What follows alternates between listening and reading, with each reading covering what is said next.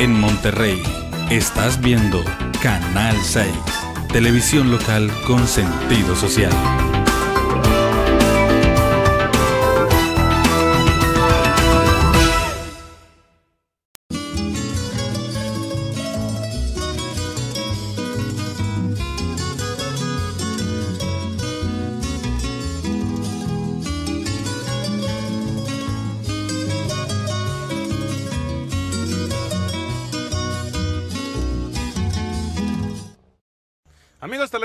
Muy buenos días, bienvenidos nuevamente a nuestro programa El Mundo del Campo.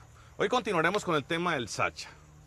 En el programa anterior veíamos cómo el Sacha es un elemento de desarrollo para la sustitución de cultivos ilícitos en una zona que debe ser reservada para la conservación ambiental. Es decir, producir recursos económicos que garanticen que no vamos a hacerle más presión a nuestras líneas de reserva forestal es decir, no aumentar la frontera agrícola, simplemente porque ya tenemos los recursos suficientes para darle calidad de vida a nuestras familias. También lo vimos como una alternativa para los desmovilizados que tienen que tener un paquete económico, un paquete productivo en el campo para garantizar la estabilidad social de este país. Hoy vamos a hablar de un tema importante donde está vinculado el Sacha, la alternativa para zonas donde las fincas son pequeñas, donde generalmente tenemos latifundios o la cultura es de la finca grande, entonces estas casas con patio grande se convierten en una carga para nuestro productor, que necesita un paquete económica, social y ambientalmente sostenible para garantizar su permanencia en el campo. Muy buenos días, eh, estamos aquí para mostrarles un poco sobre el cultivo de Sacha Inchi, eh, una alternativa agroindustrial que encontramos mm, los otros líderes emprendedores y yo. Eh, nosotros inicialmente pues estábamos buscando como una alternativa de cultivo eh, porque no queríamos seguir como digamos en los cultivos tradicionales como maíz, como patilla que se han venido sembrando digamos en mi región. Eh, y fue en ese momento cuando empecé a buscar otras alternativas, como por ejemplo en el momento la higuerilla. Después llegué a través de ella a Carlos Palacio y pude conocer el Sacha Inchi.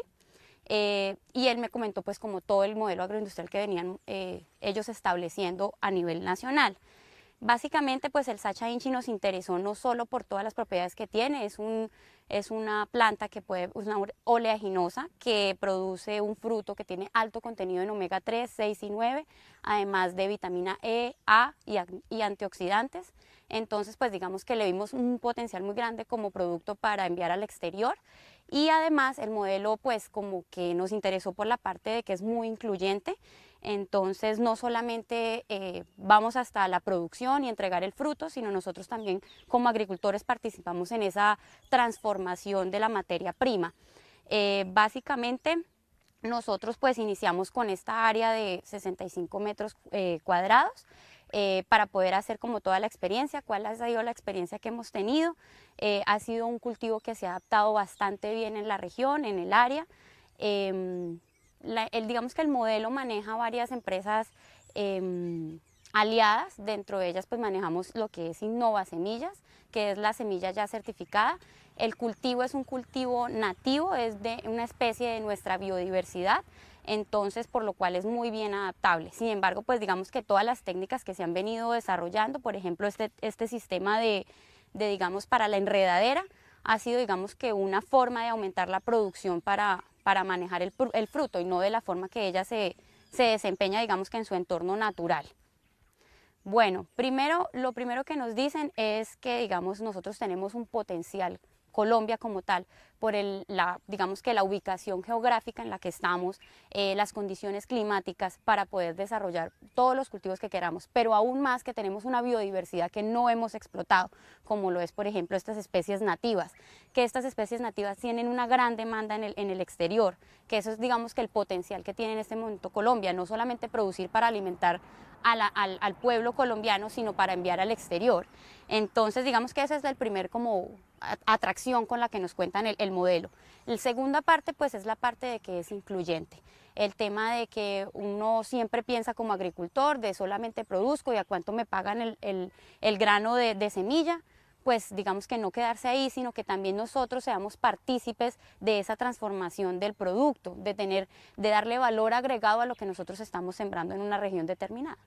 Mm, bueno, digamos que eh, los llanos orientales, digamos que por eh, la condición climática y de altitud tiene una buena condición para el desarrollo del tema de Sacha Inchi. Eh, vamos a tener producciones rápidamente, por ejemplo, a los a los 6, 7 meses ya vamos a tener cosecha. Entonces digamos que por ejemplo por el área eh, podemos tener un buen desempeño o desarrollo de este tipo de, plantas en la región. también digamos que se ha, caracterizado San Martín de los Llanos o la, la, región de aquí de los Llanos por ser muy buen productor de, de insumos agrícolas. Entonces, pues digamos que ya para no seguir compitiendo con los mismos eh, cultivos que se han venido desarrollando, como son el plátano, el maíz, la soya, el arroz, pues entonces tenemos que darle otra alternativa a esos pequeños agricultores de pronto que no tengan una extensión de área muy grande para cultivar un arroz que de todos modos no tendría eh, como la ganancia suficiente si no si no cultivo un área grande, sino si solamente tengo una parcela pequeña voy a tener ganancia porque no solo gano del fruto, sino también del aceite que vamos a transformar. Entonces digamos que pienso que es una alternativa para esos pequeños eh, agricultores de esta zona de los llanos orientales. Digamos que en el proceso de transformación lo que se hace después de que se cosecha el grano ya seco, se pasa por un, tema de secado. Eh, después de eso vamos a tener un descascarado para poder tener únicamente eh, la almendra o la semilla. esa cáscara que obtenemos pues va a servir como fuente orgánica, pues la usamos también como abono para nuestras propias plantas. Eh, y después vamos a hacer una extracción en frío, una compresión en frío de la semilla para obtener el aceite ya extra virgen que es básicamente como el, proceso en general para la extracción. Esa torta que sale de esa compresión la vamos a utilizar como proteína, porque es un 60% proteína para alimentos, por ejemplo, importantes en la industria farmacéutica o como para deportistas. Entonces digamos que no hay pérdidas en todo el proceso de producción. En este momento, pues nosotros somos eh, tres líderes emprendedores en, la unidad de San Martín de los Llanos. Estamos próximos a hacer nuestra escuela de campo para poder aumentar, digamos que la capacidad. Em, hacer que otras personas se incluyan en el modelo y empiecen a cultivar sus primeras parcelas, que es lo recomendable, digamos que por Sacha Colombia son 20 matas inicialmente para hacer toda la parte experimental. En este momento solamente estamos nosotros tres en esta zona, eh, estamos manejándolo con tres personas que nos ayudan con toda la parte de mantenimiento del cultivo, pero únicamente estamos como líderes emprendedores, solo tres, y como agricultores igualmente solamente tres en San Martín de los Llanos, pero estamos próximos y ya hay mucha gente interesada, han visto que digamos que el tema de que eh, Sacha Colombia nos da todo el apoyo tanto técnico como en la compra del, fruto o como todo el apoyo para la extracción de, del aceite, entonces eso como que ha llamado bastante la atención de toda la gente en la zona para también cultivar acá. Bueno, pues básicamente, ¿qué recomiendan? Recomiendan, por ejemplo, no sé si puedan ver en el sistema, eh, sembrar matarratón para que fije nitrógeno y pues ayude como tal a las plantas. Entonces, digamos que en todo el, el, sistema de tutoreo usamos matarratón. Em, estamos manejando pues fuentes de calcio, de potasio, de nitrógeno para la fertilización, a medida que va el cultivo eh, en crecimiento. Eh, también estamos manejando materia orgánica pues para mejorar el tema de suelos y pues digamos que más adelante la idea es invitar a todos a que empiecen a cultivar para certificación orgánica, que digamos que es como el fuerte potencial en, el exterior.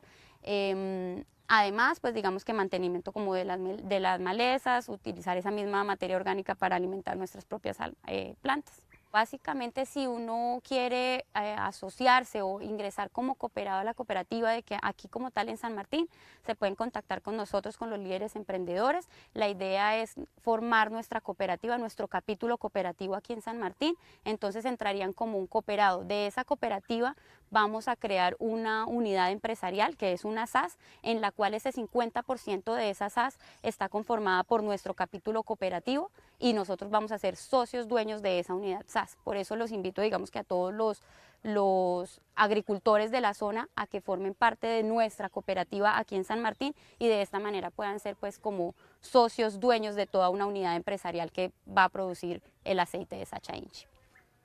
Eh, bueno, con Jorge Sánchez, líder emprendedor de la unidad de San Martín, vamos a ver cómo se hace la siembra de un cultivo de Sacha Inchi. Estamos en un lote donde vamos a seleccionar un suelo que tenga la cualidad de ser un suelo franco, franco arenoso, donde dé yuca. Si da yuca, da sacha. Se va a hacer un repique que debe tener más o menos 70 centímetros de ancho con una profundidad más o menos de 20 centímetros de profundidad. 70 de ancho por 20 de profundidad. Si la tierra se va a mecanizar, porque se puede mecanizar, no habría necesidad de hacer ese repique, pero si no se va a mecanizar, se debe realizar el repique. Esta tierra es una tierra bastante suelta, donde se tiene esa ventaja. Una vez realizado el repique y después de haber hecho el análisis de suelo para saber cuáles son las condiciones eh, necesarias para la enmienda, para hacer el balance entre los eh, elementos de base, calcio, magnesio, potasio, aluminio y sodio, se hace el repique, se hace la corrección posiblemente con cales. Aquí tenemos un aliado muy importante en el meta, que es Cal Llanos, que nos puede apoyar en todo el desarrollo eh, de las enmiendas para el proceso de desarrollo de suelo. Bueno, Jorge, vamos a poner tres semillas por punto, poniéndolas más o menos a 15 centímetros una de otra. De 2 a 5 centímetros de profundidad, no importa la posición exacta, no tienes que buscarle un lado preciso a la semilla. Estamos hablando que quedan más o menos a una cuarta distancia una semilla de otra en tres. ¿Por qué vamos a sembrar tres semillas? Vamos a sembrar tres semillas para poder seleccionar la planta más fuerte. Al cabo de aproximadamente 25 a 30 días eliminamos la más fea y dejamos las dos plantas más bonitas. Y posteriormente esas dos plantas las vamos a subir con la hilaza hasta la parte de arriba, hasta el alambre superior. Y luego la que primero llegue al alambre superior es la que va a dejarse para el resto del cultivo, donde ya vamos a ver todo el sistema de poda de formación. En esta primera etapa de siembra es muy importante tratar de aplicar desde el principio un controlador eh, de hongos y nematodos. Aplicamos en este caso tropimezcla, que es la mezcla de cinco hongos, Boveria baciana, Trichoderma, Metarricium, Pacelomices y Pochonia, que nos van a permitir controlar chisas, controlar hormigas, controlar nematodos y controlar hongos dañinos. Es importante haber hecho la enmienda de suelo para tener las mejores condiciones de asimilación de nutrientes. De igual manera es importante tener una semilla que tenga registro ICA que nos garantice como mínimo tener un 45% de omega 3 en el contenido de aceite. Eso es genético. No depende de la fertilidad del suelo. El contenido de omega 3 es una condición genética y dependiendo de la variedad que siembres vas a lograr un alto, mediano o bajo contenido de omega 3. El mercado nacional e internacional exige que tengas mínimo un 45% de omega 3. Las variedades que hoy se registran ante el ICA con empresas productoras de semilla tienen mínimo un 48 o 49% de omega 3. Esos serían los primeros pasos en el momento de la siembra. Jorge, aquí hicimos el tutorado. Dos cuerdas de alambre, calibre 14, acerado. Y pusieron los postes cada 5 metros. Las plantas van 2 metros y medio, 2 metros y medio, 2 metros y medio, pero los postes van cada 5 metros, o sea, dos, post, dos plantas eh, en la distancia entre poste y poste. Luego vamos a ver cuáles son los postes vivos, que se ponen postes vivos durante el recorrido y postes muertos en los punteros u orillas. Este poste es importante que tenga un puntal. Siempre el primero, el del comienzo, debe tener un puntal que le permita estar seguro, que no se vaya a mover con el templado. Esa sería básicamente esta primera parte de siembra. Es importante tener presente hacer la siembra al comienzo de la época de lluvias. En el caso de algunas partes de Colombia, marzo-abril que comienzan las lluvias, o septiembre-octubre que vuelven a haber lluvias en el país. Compre guadañadora Shindaiwa. Durabilidad, potencia y servicio postventa. Para trabajo profesional y pesado. Shindaiwa. Primeras en arrancar, últimas en parar. Calidad garantizada. Shindaiwa. Orgullosamente japonés. Agrovida. Un programa de Bayer. Si es Bayer, es bueno. Amigos productores, muy buenos días sigamos hablando de la etiqueta de los plaguicidas. En la parte de abajo vamos a encontrar una banda de color que indica la categoría toxicológica. Esa categoría toxicológica está relacionada con los humanos y con los mamíferos. Nada tiene que ver con el medio ambiente ni con el daño que puede causar en la fauna. Sobre esa banda de color hay unos dibujos o pictogramas que indican los elementos de protección que se deben utilizar durante la mezcla y durante la aplicación del producto. Siga las recomendaciones de la etiqueta y cuide su salud y su bolsillo. Este es un mensaje de Agrovida para el mundo del campo. Agrovida es un programa de Bayer y recuerde, si es Bayer, es bueno. Bueno, María Camila, estamos viendo el proceso de poda de una planta de Sacha Inchi para su poda de formación. La primera rama debe subir siempre hasta el alambre superior y siempre rosca izquierda, o sea, hacia la izquierda, vamos a escoger la primera que se subió y a los 45 centímetros aproximadamente la vamos a eliminar. ¿Qué buscamos con eso? Quitarle la dominancia apical, que la dominancia que tenía esa primera rama se pierda, para lograr que ella nos genere nuevas ramas con buen vigor. Las siguientes ramas las vamos a escoger de la parte más basal o la parte más baja. Vamos a escoger esta primera rama y vamos a amarrarla. Vamos a utilizar hilaza de algodón con la que se amarran las habichuelas. Listo. Vamos a hacer un ojo que no ahorque la planta. Hay varias formas, uno de ellos se llama el ojo de marrano, que lo que te permite es que al amarrar no se ahorque la plantica. ¿Qué tan amplio debe ir el hoyo? En el ojo debe caber por lo menos dos dedos. Ok. En este caso lo hicimos de tres, pero deben caber mínimo dos dedos. De modo que ya al engrosar no tengas problema de desarrollo. Lo vas a llevar exactamente a un metro de distancia de la primera rama. Y tiene una especialidad. Este nudo tiene que ir uno atrás del nudo, uno adelante, uno atrás y uno adelante. ¿Qué busca eso? Que no se nos vaya a devolver. Que cuando esté templada la planta o haga fuerza, no se te corra. Y luego siempre rosca izquierda, como si fueras a girar hacia la izquierda, lo enrollas. Si lo pones rosca derecha, ella al día siguiente se va a devolver.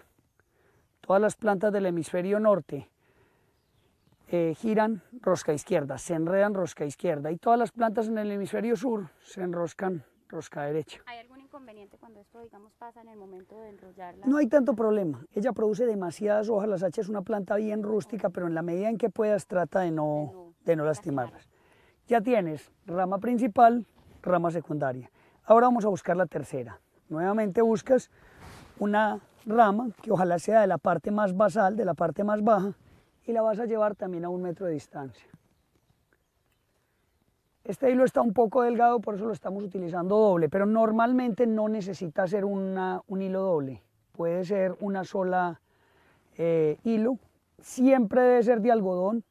La razón es que el algodón, una vez se descomponga, una vez la planta ya haya subido, él se descompone solo y es natural, es de origen orgánico Carlos, y no va a ¿hay algún tener problema. inconveniente si se dejan estas tiras de algodón?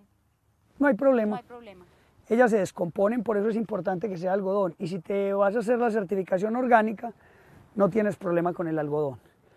Pero para el ahorro deberías siempre hacerlo con una medida lo más precisa porque esas 40 centímetros de algodón terminan siendo, en una hectárea de 1.600 plantas, termina siendo un costo de esos costos que uno llama costos fantasma, Ok. que no los tienes en cuenta, pero recuerda siempre son representativos. en, la, en los costos de producción. Los ojos, nuevamente, rosca izquierda, siempre si fueras a girar hacia la izquierda, y ella termina de subirse, solita. Tú solamente la guías y la pones ahí. ¿Qué más vas a hacer? Todas las ramas que hayan de la parte basal hacia abajo se eliminan, hasta 60 centímetros, pero no eliminas las hojas, solamente los nuevos chupones que están saliendo. Todos estos chupones se eliminan y se dejan en la pata de la planta para ser utilizados como, ese es un chupón. Estos chupones se eliminan, pero no eliminas las hojas, porque estas hojas luego, en la medida en que la planta necesite potasio, van a traslocar el potasio a la parte superior para el llenado de frutos. Ellas se funcionan como una especie de ahorro de potasio. Y al final solamente te van a quedar tres ramas. De 60 centímetros hacia abajo solamente pueden quedar rama principal, segunda, tercera. De 60 hacia abajo no te puede quedar nadie más. De 60 hacia arriba, todas las que se desarrollen las vas a dejar. ¿Cuál es la finalidad de este proceso, María Camila? Que cuando la planta de Sacha Inchi inicie su producción, todas estas ramas de carga se ponen sobre el hilo de abajo, que va a la mitad del hilo de arriba. El hilo de arriba siempre más o menos 70 centímetros la altura de la frente de quien va a hacer el trabajo. El segundo hilo a la mitad entre esta y el suelo.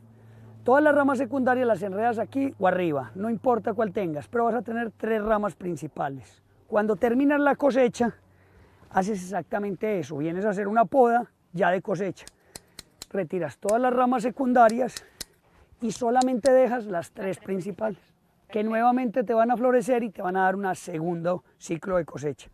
Si desde el inicio no haces una buena división de las ramas, vas a tener problemas de costos a la hora de hacer la poda y de la poda. Porque la persona que venga a podar no va a saber qué rama dejar, cuál es la principal, cuál es la secundaria y termina siendo muy costoso el manejo de podas en la segunda etapa. Bueno, Camila, nos vamos a ver el proceso de eh, control de malezas y de aporque en tierra. Gran remate, Hacienda Zorrillos e invitados. El legado de un sueño. INAMEC, Industria Agrícola Metalmecánica, línea completa de implementos para su tractor, líder en optimización agrícola e industrial. Pequeñas, medianas y grandes productoras del campo usan implementos INAMEC. INAMEC, el socio productivo en sus labores del campo. Seca más, más confianza para su próxima lactancia. Un producto Colbet. Bueno, Jorge, vamos a ver cómo controlar las malezas y cómo el mismo eh, matarratón nos sirve para el control de malezas. Cortemos las podas de los brotes y llevémoslos para el control de malezas. Perfecto. Ahí estamos utilizando todos los rebrotes del matarratón que nos van a servir para el mismo control de malezas en la sacha inch, colocándola siempre en la pata de la sacha inch. Eso nos genera sombra y hace que las malezas no se desarrollen. Todas las podas bajeras o chupones que se llaman, que son todas estas ramas que son improductivas, se van a utilizar también como aporte de nitrógeno. Todo lo que es el, maní, el matarratón y todo lo que son las malezas. Todas las malezas que encuentras en el lote las vas a aportar al mismo plato para sostener este punto con la cobertura de sombra y evitando que otras malezas se desarrollen gracias a la sombra que la maleza, el mush que se está pudriendo, genera. Estas ramas bajas van a ser improductivas, van a la parte de abajo. También es importante que veamos el manejo de maní forrajero. Este arachis y maní forrajero tiene la ventaja de hacer una de las mayores coberturas. ¿Cómo lo vamos a multiplicar? Siempre al lado de la planta vamos a poner cuatro maticas, siempre mirando hacia afuera. Si ella viene creciendo, va en este sentido y las siembras, siempre creciendo hacia afuera. Una en cada lado de la planta, más o menos a 40, 50 centímetros de la planta, buscando que el maní empiece a hacer cobertura de todo el terreno y logres evitar el mayor problema en malezas, que es el mayor problema en cultivo, que es control de las malezas. Aquí ya se ve maní forrajero desarrollándose que se estableció en el momento que se plantó. Bueno, eh, María y Jorge, vamos a ver eh, cómo es el proceso, es importante lo que ustedes hicieron. Los postes de matarratón o tutores vivos van cada 5 metros y deben ir exactamente a la altura de la cuerda para que la planta le haga soporte y la sacha cuando se desarrolle no se te suba por el maniforrajero. Estas ramas, en la medida en que se desarrollan cada 90 días, hacen la poda que vimos ahora para tirarla a la pata de la sacha inchi. Pero esta es la forma perfecta de establecer postes vivos. Ventajas de que el poste sea vivo, te dura toda la vida. El costo, un poste de mata ratón te puede estar valiendo mil pesos, un poste de madera fina te puede estar valiendo 15 mil pesos. Y otra de las grandes ventajas que tiene es que aporta nitrógeno. Ellas son de una familia que son las leguminosas, las fabáceas, y tienen una simbiosis con una bacteria que se llama Rhizobium y te aporta nitrógeno al suelo, que es una gran ventaja en el cultivo de Sacha inchi. Bueno, estamos aquí en Vista Hermosa, en un cultivo de la unidad de Piñalito, eh, con el líder emprendedor Javier Quintero. Y Javier, mira lo que estábamos hablando del efecto de los nemátodos en la sacha inchi, uno de los mayores enemigos que tenemos. Estos nódulos, estas eh, agallas que genera el nematodo meloidogini en sacha inchi es uno de los mayores generadores de daños en este cultivo. Es importante desde el principio, desde que se establece el cultivo, aprender a controlarlo para evitar este ataque. Y fuera del ataque, eh, las heridas, por las heridas que genera el, el nematodo, entra un hongo llamado meloidogini que se encarga de hacer que eh, se muera la planta. Los haces vasculares se cierran y la planta no puede subir nutrientes. Es importante entonces que este control se haga desde el inicio del cultivo. Se puede ver el sistema radicular de esta planta, es una planta joven y ya tiene 20, más de 50 centímetros de sistema radicular. Es una planta con un avance muy fuerte de raíces, sobre todo en un suelo de estos tan suelto que le da grandes ventajas de respiración. Son los mejores desarrollos en Sacha, los hemos tenido en suelos con estas condiciones, suelos sueltos. Mire la raíz como puede eh, avanzar sin problemas. Se puede ver una planta con... ¿Cuánto tienen estas plantas? Estas plantas tienen 60 días y ya puedes ver una, dos, tres, más de 60 centímetros de sistema radical. Miren esta raíz. Se puede ver acá ya pelos absorbentes, las partes terminales de este sistema radical, incluso sigue avanzando. Aquí se ve el sistema más joven avanzando. Se puede ver un inmenso sistema radicular con una planta de apenas 60 días podrían medir y se van a dar cuenta que el mayor sistema de absorción está en los terminales. En este caso, en esta raíz, se ve una raíz completamente sana, no tiene todavía ningún ataque de nematos, es una condición de una raíz muy sana. Eh, por alguna razón no desarrolló raíz principal, debió haber desarrollado una raíz principal hacia abajo algo la atrofió acá. Por eso siempre se selecciona la planta más firme, más fuerte, porque es la que tiene la principal raíz o la raíz principal más, más fuerte. Es importante que como agricultores aprendamos a conocer las deficiencias en el cultivo. Cuando vemos este amarillamiento internerval en las hojas, quiere decir que la planta está desplazando nutrientes de las partes lejanas a la nervadura y los está traslocando a la producción de flores y frutos. Esa deficiencia normalmente es una deficiencia de potasio. Cuando empezamos a ver este amarillamiento en la parte de abajo sin todavía tener fructificación, nos está mostrando que debemos aumentar un poco eh, la producción de potasio o que el balance en el suelo de mm, calcio, magnesio, potasio, eh, aluminio y sodio podría estar desbalanceado. Y la relación calcio-magnesio-potasio estaría baja en relación al potasio. ¿Por qué es importante un buen balance de potasio y por qué el potasio es tan necesario? Se considera uno de los elementos mayores, porque es el encargado de la dureza y el llenado de los frutos. Que una planta tenga buen llenado de frutos depende de que tenga niveles suficientes de potasio en el desarrollo del cultivo. Muchos cultivadores han llegado a tener producciones muy importantes de frutos y cuando los frutos empiezan a ser muchos en la planta y a tener llenado, la planta empieza a abortarlos ¿Por qué empieza a abortarlos? Por la deficiencia de ese elemento de los mayores, que es el potasio. También se da en algunos fenómenos que la planta se machorrea, empieza a tener más flores masculinas que femeninas. Y las razones por esa deficiencia de potasio, cuando ya no tiene toda la cantidad suficiente de potasio para llenar los frutos, pues pretende o busca como herramienta de escape producir más polen que flores femeninas y eso reduce la producción del cultivo. Como vimos en el desarrollo del cultivo, encontramos algunos puntos que son limitantes, como es el mayor es el suelo, tener un suelo franco, franco-arenoso, que no se inunde, es una planta que no tolera encharcamiento. Otro de los factores fundamentales es el costo de la posteadura. Tal vez el 80% del costo del cultivo de sacha inchi es la posteadura, el tutorado y los alambres. El costo por hectárea de tutores puede llegar desde 6 hasta 14 millones de pesos, dependiendo de qué tipo de tutor uses. Una hectárea requiere 800 postes o 800 tutores que si los estás utilizando de cemento o postes muertos comprados, te pueden estar por el orden de 15 mil pesos por poste. 15 mil pesos por poste, por 800 postes representan 12 millones de pesos.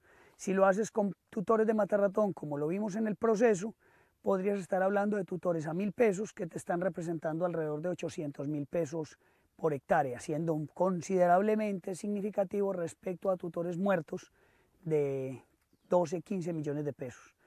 Otro de los mayores costos que pudimos ver en el cultivo es el manejo de las malezas. El mayor costo en agricultura en el mundo es controlar malezas. Si tú quieres hacer un control biológico de malezas sin utilizar glifosato u otro herbicida dañino, debes aprender a hacer una cobertura de suelo, principalmente con coberturas que sean leguminosas, maniforrajero u otro tipo de leguminosa que te pueda hacer esa cobertura en tierra. Hoy lo vimos con el maniforrajero y con las mismas podas, que las mismas controles de maleza sean tirados sobre el plato de la planta para evitar que otras malezas se desarrollen. Uno de los mayores problemas o el mayor problema que hemos encontrado en el desarrollo del cultivo de Sacha inchi es un complejo nematodo hongo que se nos presenta. Es el complejo nematodo meloidogini y el hongo fusarium. El nematodo meloidogini lo vamos a ver enseguida es eh, un pequeño gusano redondo, eh, decolorado, despigmentado, que ataca el sistema radical de la planta, haciendo unas agallas, unas especies de ciudades dentro del sistema radicular y por esas heridas que él genera entra un hongo llamado fusarium que eh, cierra los haces vasculares y al cerrar los haces vasculares por donde suben los nutrientes de la planta, la planta se seca, se muere y es una de las mayores pérdidas. Cultivo que no aprenda a manejar nematos, no aprenda a controlar nematos, en los dos primeros años tiene una mortalidad de más del 80% de sus plantas por ese problema. Entonces es muy importante aprender a manejar los nematodos y aprender a manejar Fusarium, que es un limitante de este cultivo. Esta planta fue establecida en un jiffy, en una, en una espuma. El sistema radicular nunca se desarrolló raíz principal. Si ustedes ven siempre que se embolsa o se siembra con vivero, no existe raíz principal. Se dieron cuenta del jiffy, la espuma, hace que la raíz principal, cuando toque la parte de abajo de la bolsa, simplemente se genera una mesa de raíces, no se genera raíz principal. Es un fenómeno normal siempre que se hace en vivero. Cuando lo haces por siembra directa, esta raíz principal debió haberse proyectado hasta 75 76 centímetros de profundidad. En el caso de esta planta, lo que generó el daño por la muerte de la planta fue una llaga en la parte de abajo. Posiblemente en el proceso de deshierva, cuando hay guadaña, se hace estas heridas. Y estas heridas permiten que entre un hongo llamado fusarium que se encarga de hacer necrótico el tejido y cerrar el haces vasculares. Un daño relativamente no tan fuerte de fusarium, pero se alcanza a ver haces vasculados, vasculares cerrados que es este daño que se ve aquí. Y esto va cerrando los haces vasculares, va cerrando los haces vasculares. Si vemos el corazón de la planta está necrótico. Y eso es el causante del deterioro de la planta. Si la vemos hacia arriba vamos a ver que ese mismo daño se va elongando. Avanza, sí, se elonga, se, se distribuye en toda la planta. Incluso hasta partes muy superiores, vas a seguir viendo el problema. De ahí la importancia de hacer un muy buen manejo de suelos para evitar estos daños de hongos en el tejido. En una planta vamos a encontrar una parte que es la parte de la inflorescencia femenina y la parte masculina.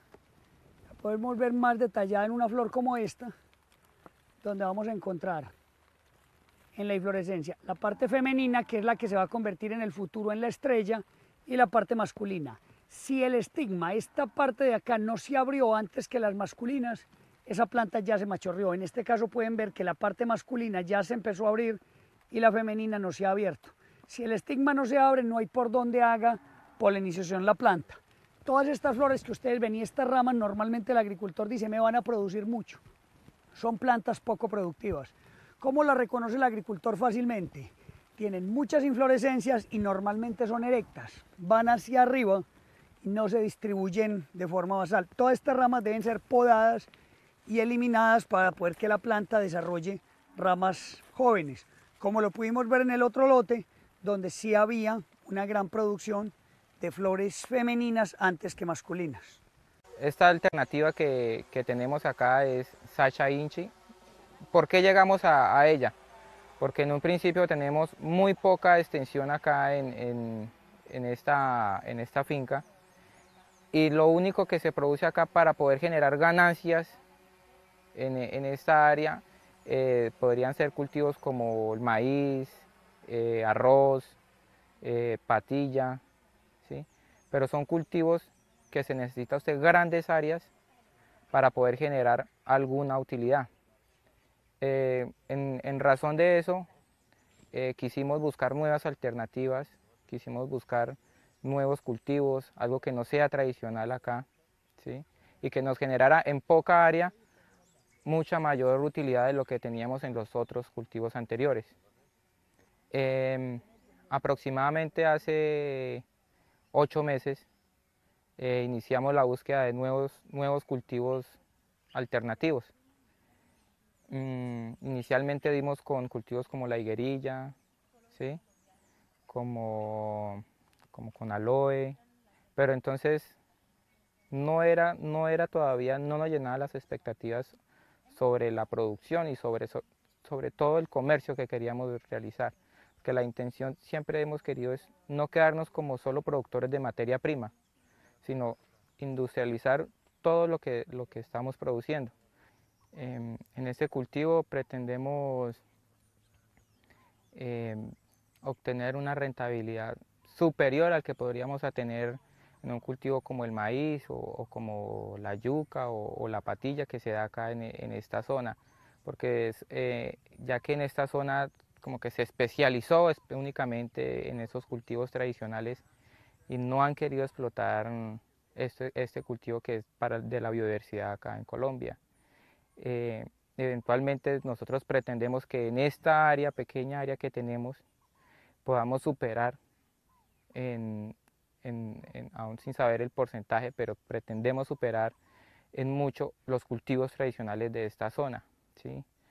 con la finalidad de que darle a conocer esto al campesino, al agricultor de nuestro municipio y que se dé cuenta de las otras alternativas que puede encontrar para el campo, no solamente lo tradicional, no solamente los cultivos que ya se han explotado acá en esta área. Otra idea es que la gente, ya que este, esta, zona, esta zona de los llanos ha sido tan golpeada, eh, no solamente por el clima, no solamente por, por, problemas externos, sino también por, problemas de conflicto. ¿sí? Eh, a pesar de que nosotros estamos muy cerca de, nuestro municipio, sabemos que en, en, áreas más remotas de acá, los cultivos o, las personas no pueden acceder a los cultivos tampoco tan, de esa forma tan fácil para poderlos comercializar o para poderlos producir también, porque llevar materias o llevar abonos, llevar insumos hasta sus fincas es muy difícil. Y de esto se aprovechan los grupos armados o, o las bandas criminales para únicamente hacerles creer que los cultivos ilícitos es la única alternativa que ellos tienen allá. Entonces, esto, con esto queremos de que también el campesino, el campesino que no, no está cerca al municipio, que está lejos en, la, área rural, entonces pueda acceder también a este cultivo y lo pueda desarrollar bajo este modelo agroindustrial que estamos estableciendo acá en San Martín de los Llanos. Bueno amigos televidentes, no olvidemos entonces nuestra cita mañana bien tempranito, 4 y cuarto de la mañana hora colombiana y en el mundo entero a través del canal internacional RCN Nuestra Tele, acá en el mundo del campo, la cara productiva de nuestro país.